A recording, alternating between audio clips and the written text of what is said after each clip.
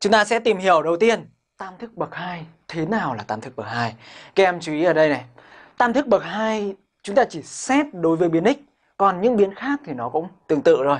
Là biểu thức có dạng ax bình phương cộng với bx cộng với c. Trong đó a, b, c là những số mà đã biết rồi và a bắt buộc phải khác khác không. Ok chưa? Nếu như a bằng 0 thì anh này sẽ biến mất này. Thì còn lại đó là gì? bx cộng c. Vậy thì nó sẽ quay về thành nhị thức bậc nhất trong trường hợp b cũng b khác không nữa. Ok chưa? Đấy. Vậy là tam thức bậc 2 chúng ta đã biết rồi. Bây giờ chúng ta sẽ có trường hợp đặc biệt. À, đối với nhị thức bậc nhất để xét dấu được nhị thức bậc nhất thì bắt buộc các em phải đi đi tìm nghiệm của của cái nhị thức bậc nhất đó đúng không? Tức là cho ax cộng b bằng 0 chúng ta tìm được x bằng trừ b trên a. Vậy thì tương tự như thế chúng ta có để xét dấu được tam thức bậc 2 các em cũng phải đi tìm nghiệm của cái tam thức bậc 2 này. Sau đó chúng ta xét dấu. Ok chưa? Đấy, vậy thì chúng ta sẽ làm gì? Nghiệm của cái phương trình này. ax bình phương cộng với bx cộng với c bằng 0 được gọi là nghiệm của cái tam thức bậc 2. fx bằng ax bình cộng bx cộng c. Thì đối với phương trình bậc 2 thì nó sẽ có 3 trường hợp xảy ra của của nghiệm. Trường hợp thứ nhất đó là vô nghiệm.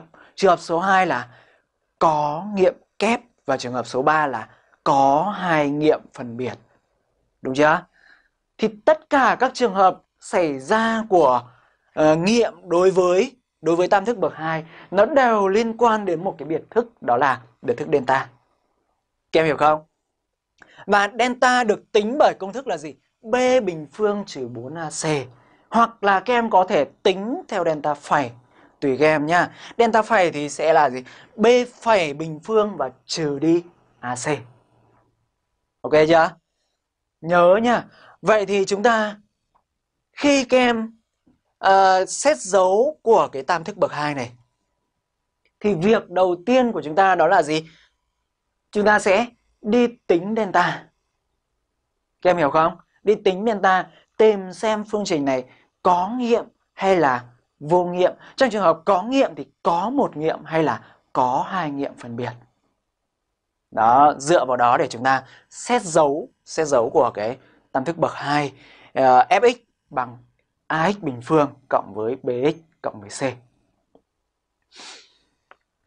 Xong rồi, bây giờ chúng ta đã hiểu thế nào là tam thức bậc 2 rồi. Bây giờ chúng